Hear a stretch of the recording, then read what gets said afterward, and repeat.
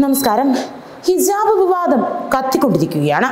ഹിജാബ് നിരോധനത്തെ ചോദ്യം ചെയ്തുള്ള ഹർജികളിൽ തീർപ്പാക്കാത്തതിനാൽ ഉന്നത വിദ്യാഭ്യാസ വകുപ്പിന് കീഴിലുള്ള കോളേജുകൾ ഫെബ്രുവരി പതിനാറ് വരെ അടച്ചിടുമെന്ന് കഴിഞ്ഞ ദിവസമാണ് കർണാടക സർക്കാർ വ്യക്തമാക്കിയത്. ഉന്നത വിദ്യാഭ്യാസ വകുപ്പിന് കീഴിലുള്ള സർവകലാശാലകളും department of collegiate and technical എഡ്യൂക്കേഷന് കീഴിലുള്ള കോളേജുകളും ഉൾപ്പെടെ അടച്ചിടും. ഓൺലൈൻ ക്ലാസുകൾ നടത്താൻ സ്ഥാപനങ്ങൾക്ക് നിർദ്ദേശവും നൽകിയിട്ടുണ്ട്. അതേസമയം ഈ വിഷയത്തിൽ ചില കാര്യങ്ങൾ നാം മനസ്സിലാക്കേണ്ടതുണ്ട്. ഞങ്ങളുടെ ഫസ്റ്റ് പ്രയോറിറ്റി ഞങ്ങളുടെ മതം തന്നെയാണ്. വിദ്യാഭ്യാസമൊക്കെ സെക്കൻഡറി മാത്രം. ഇങ്ങനെ ഉദ്ഘോഷിക്കുന്നവരെ ഭയക്കുക തന്നെ വേണം. എല്ലാ മാനുഷിക ഭാവങ്ങളെയും മതം ഹൈജാക്ക് ചെയ്യുമ്പോഴാണ് ബിൻലാദനും മുല്ല ഉമറും അബൂബക്കർ ബാഗ്ദാദി ജിഹാദി ജോണുമെല്ലാം രൂപപ്പെടുന്നത്.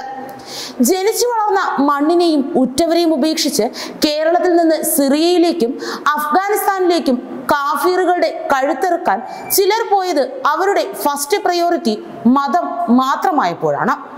കർണാടകയിൽ സമരം ചെയ്യുന്ന വിദ്യാർത്ഥിനികളുടെ വേഷം അവരുടെ സ്പോൺസർമാരുടെ അജണ്ട വ്യക്തമാക്കുന്നു എന്ന് തന്നെയാണ് വെളിവാക്കുന്നത്.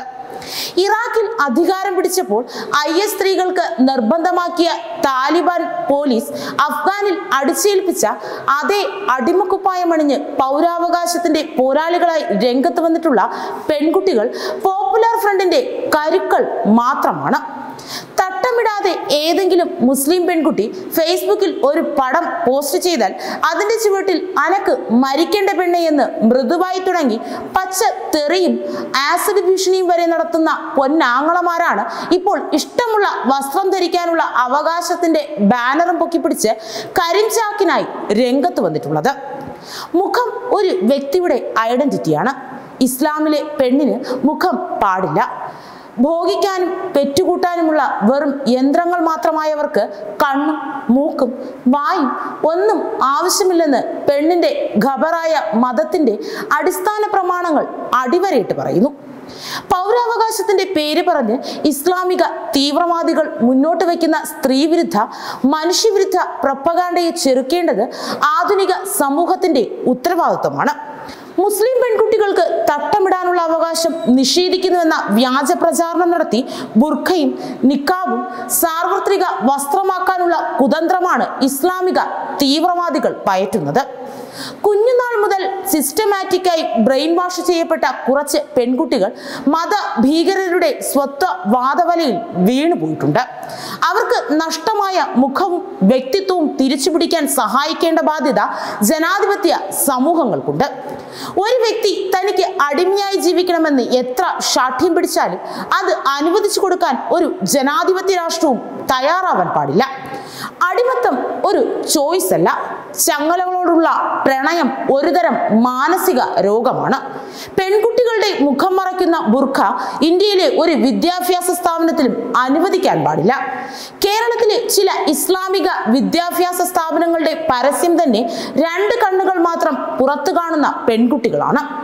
ജനാധിപത്യത്തിന്റെ വിശാല മൈതാനങ്ങളും തുറസ്സുകളും പരമാവധി ദുരുപയോഗം ചെയ്ത് പൊളിറ്റിക്കൽ ഇസ്ലാം പ്രൊപ്പകാണ്ട പ്രചരിപ്പിക്കാനായി ശ്രമിക്കുന്ന സംഘടിത ശക്തികളുടെ തന്ത്രവും കുതന്ത്രവും തിരിച്ചറിഞ്ഞ് തന്നെയാണ് അവരെ നേരിടേണ്ടത്. പെൺകുട്ടികൾക്ക് അക്ഷരം പാടില്ല എന്ന് പണ്ട് പ്രമേയം പാസാക്കിയവരാണ് ഇപ്പോൾ ബുർഖ യൂണിഫോമിനായി തെരുവിൽ ഇറങ്ങിയിരിക്കുന്നതെന്ന യാഥാർത്ഥ്യം.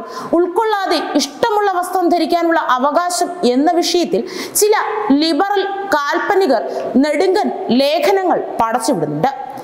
ഐ എസും താലിബാനും നിർവചിക്കുന്ന പെൺവേഷത്തെ അടിമക്കുപ്പായത്തെ സപ്പോർട്ട് ചെയ്യുന്നവർ സ്വതന്ത്രരായി ജീവിക്കാനുള്ള സ്ത്രീകളുടെ അവകാശ പോരാട്ടങ്ങളെ ഒറ്റിക്കൊടുക്കുകയാണ് ചെയ്യുന്നത്. സംഘപരിവാർ ഒരു റൗഡി സംഘമാണെങ്കിൽ ബുർഖ പോരാളികൾ ഭീകരവാദികളാണ്. അതാണ് അടിസ്ഥാനപരമായ വ്യത്യാസം. പൊളിറ്റിക്കൽ മുന്നിൽ മുട്ടുകുത്തി ഓച്ചാനിച്ച് വോട്ടിനായി യാചിക്കുന്ന മതേതര നാട്യക്കാരുടെ അടുത്ത തെരഞ്ഞെടുപ്പ് മാനിഫെസ്റ്റോയുടെ പുറംചട്ട ബുർഖയിട്ട അടിമപ്പെണ്ണിന്റെ ചിത്രമായിരിക്കും. Web desk Tatva news.